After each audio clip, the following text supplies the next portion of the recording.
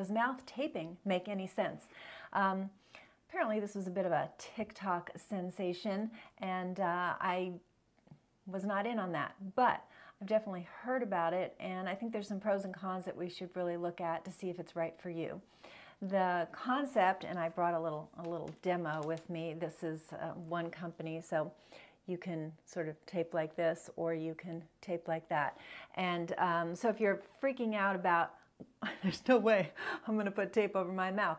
Um, appreciate the fact that if you're going this way, there's tape across your upper lip and below, and the center section is just, you know, right in the middle of your mouth. So you can, and this is stretchy, so you can actually open your mouth a little bit if you want to. So this is not literally like duct tape across your mouth in any way, shape, or form.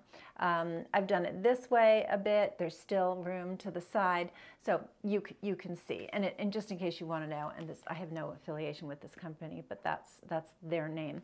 So let's let's look at the pros and cons. So when you're sleeping with your mouth open, what happens is you can snore, you can get dry mouth, and the biggest thing, the reason I got onto this is that with the mouth open, you're not swallowing your saliva, which is a big deal, and we're going to go over that in a second, and you're proliferating bad bacteria. So there's bad bacteria that um, will just grow if your mouth is open, dried out, and you're not allowing the good bacteria to proliferate. So you're getting that imbalance, which is dangerous. And why is it that dangerous? So there's a particular bacteria called P. gingivalis and is associated with overall inflammation. So we know inflammation is the root cause of all the diseases killing us, heart disease, diabetes, cancer, um, Alzheimer's disease, obesity. It's all underlying that is inflammation. So that's dangerous. In addition to overall inflama inflammation, it's associated with respiratory disease. Um, again, breathing through your mouth is associated through uh, with gingivitis.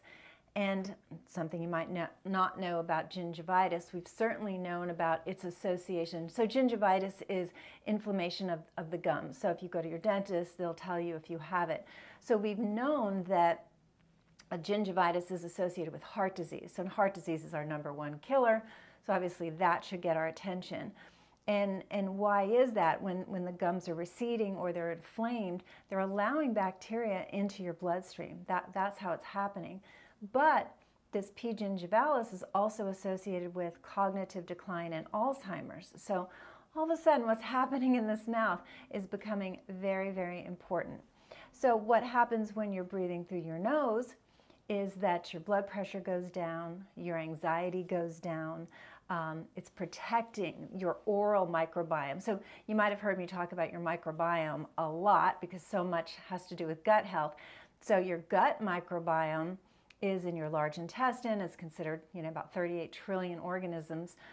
I wasn't really appreciating the fact that the oral microbiome is just second in size to the gut microbiome. So it's that critical. And so my early work into understanding the oral microbiome, they were talking about, well, the importance of swallowing your saliva. And I was thinking, like, what else, what else are you going to do with your saliva? other than swallow it, right? Nobody's spitting their saliva out all day. But we sleep, or we should sleep, about a third of our lives, which is eight hours, sometimes eight to nine hours. And if you are not breathing through your nose that whole time and you have your mouth open, guess what's happening?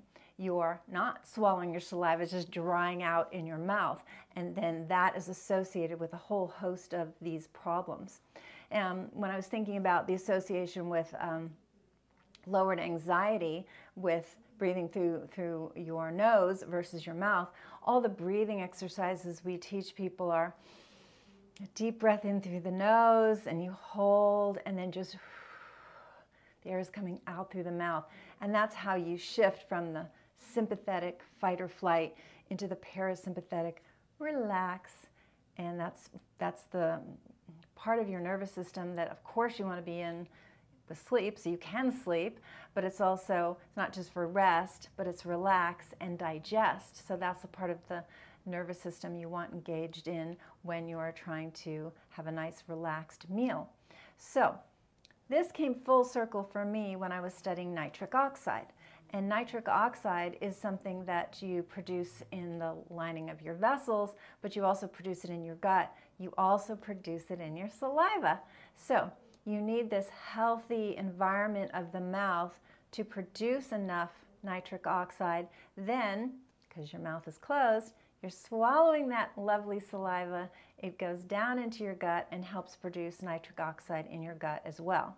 So why is this so important for your health? Because with lowered nitric oxide, especially kicks in when you're over 40 because our levels of nitric oxide drop by 50% by age 40 and then down they go after that. So you want to do as many things as you can to protect your nitric oxide level. Um, so with healthy nitric oxide, you are keeping your blood pressure low, you're keeping your circulation uh, not inflamed, so that's not just affecting your heart, it's affecting your brain, it's affecting your kidneys.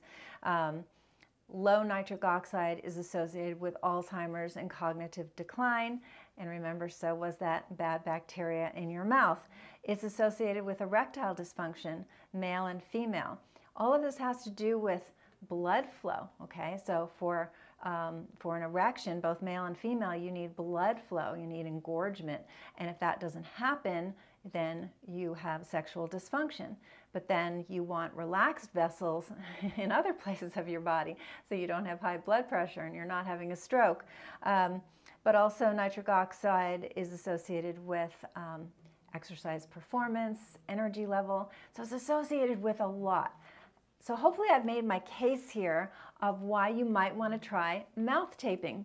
And um, so if you're freaked out about it, I'm right there with you.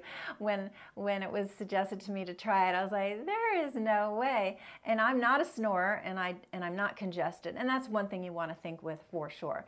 If you um, just can't breathe through your nose at all, then mouth taping is not for you. We want to get to the root cause of why you're not breathing through your nose and why you're so congested first. So that's number one. Um, but number two is there's a lot of protection that you can get from retraining your body to breathe through the nose. And do realize, as I showed you, this dropped on the floor, pardon, uh, our little H. Um, this is not covering your whole mouth. It's not sealing. Plus, it does have some elasticity to it. And this is just one brand. Uh, there are several out there. Uh, but I've seen some that are just more covering your entire, entire mouth, which I think might be a little bit much. So you can try it. It's not like on there with, you know, duct tape. It, it's very easy to, to peel off. I'm actually a little adhesive sensitive and I've been using this now for about three weeks with zero problem. Really night one, I, I had some like, you know, attention on the fact that I had it on my mouth and that, and after that, it, it, was easy breezy. It was absolutely no problem at all. So I wanted to do this for a length of time before, before I talked about it because clinically I think it has a lot of benefits because um, nitric oxide production is very key for so many issues with circulation, mental health, emotional health, um, sexual health. So it covers a broad uh, screen of systems in our body. So let me know if you've ever tried it, and uh, if you haven't, I would encourage you to try it. Again, not if you're totally congested and you can only breathe through your mouth. Um, that won't be good for you. But otherwise, uh, give it a try. Let me know what you think. This company, um, Vital Oxygen, yeah, so that's the one I got. Uh, I think there are several others, but again, it, it's elastic, etc. So give it a try, and if you're, yeah, let me know. Let me know your thoughts. There's going to be a lot more that I want to talk about with nitric oxide, and including finally a supplement that can augment our levels of nitric oxide, and that's very exciting. So I'll be talking about that soon. If you enjoy the content, please subscribe, give the channel a thumbs up so more people can see what we're doing. We're all about getting to the underlying root cause through what we call root cause medicine, which has its foundation in functional medicine. And uh, we have a team of doctors working together. We've been at practice for 40 years, and uh, I love to share health information.